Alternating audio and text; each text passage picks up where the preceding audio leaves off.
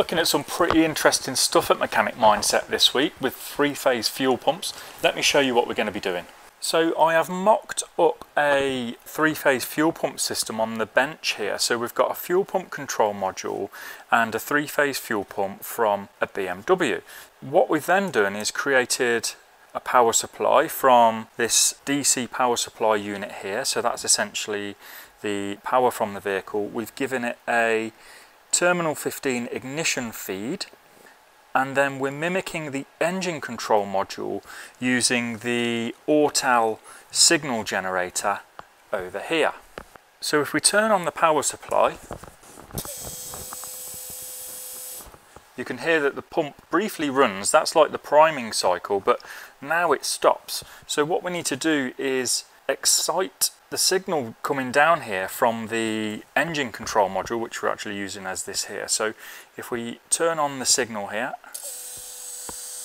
you can now see the pump is operating and we've got one of the phases showing the power supply there. So that's one of the phases to the pump. Now if we increase this signal,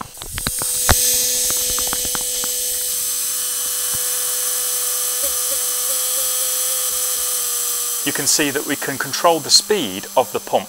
Now in the next batch of Mechanic Mindset training we're going to be looking at this system in detail, checking how we can analyse the voltage supply for the fuel pumps plus measuring the current flow on each of these phases to help you diagnose fuel pump control modules and fuel pumps themselves.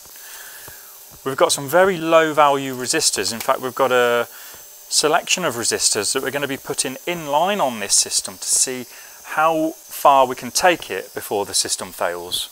We're going to be looking at all of this on our next live training, Sunday the 26th of January, 7pm London time.